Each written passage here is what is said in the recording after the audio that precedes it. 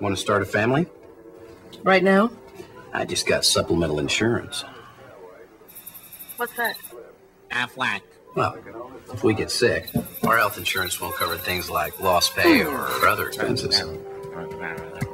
This does. What's it called? Aflac! I don't know. Aflac! Aflac. Ask about it at work.